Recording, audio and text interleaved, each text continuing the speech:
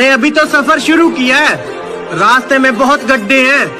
इसीलिए हमने थोड़ी कंफर्टेबल गाड़ी ले ली है